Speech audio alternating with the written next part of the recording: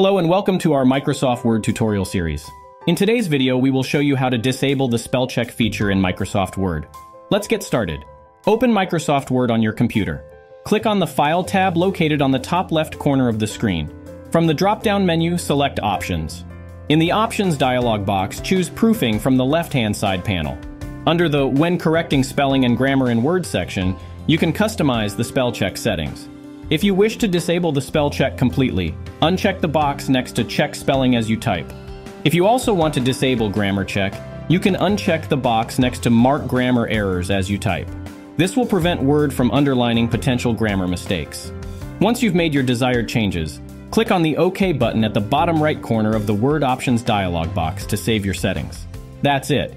You have successfully disabled the spell check feature in Microsoft Word. Remember, you can always enable it again by following the same steps. If you found this video helpful, don't forget to like and subscribe for more. Thanks for watching.